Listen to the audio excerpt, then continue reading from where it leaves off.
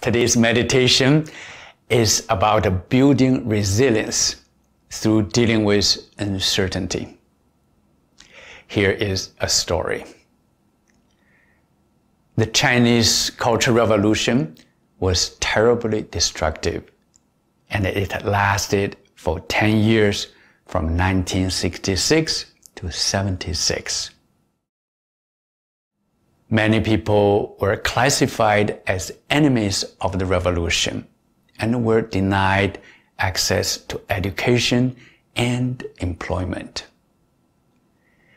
My family was in this category. We lived in fear of social and physical abuse. But what was worse was not knowing how long the revolution would last or if it would ever end. Many gave up hope. Some committed suicide. Others prepared for the life at the end of the revolution. My father held tight to the concept from Chinese philosophy that when a thing develops to its extreme, it will revert. We prepared for the change, studying and working hard, but not knowing when or if things would change.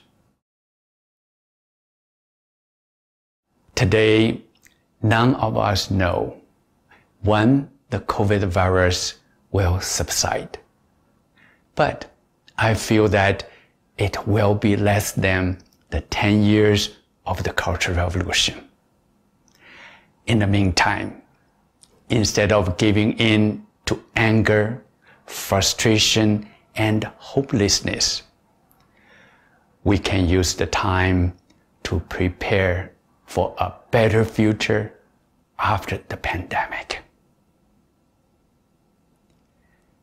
Now let's meditate on this story and see if it can be helpful to our lives. I'm going to ring the bell to lead us to enter silence.